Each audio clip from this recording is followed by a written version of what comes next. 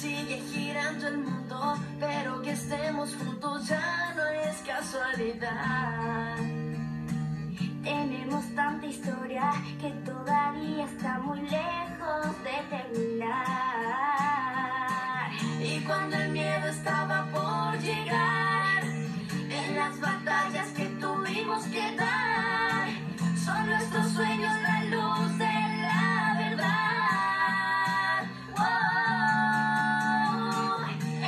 la la que mueve.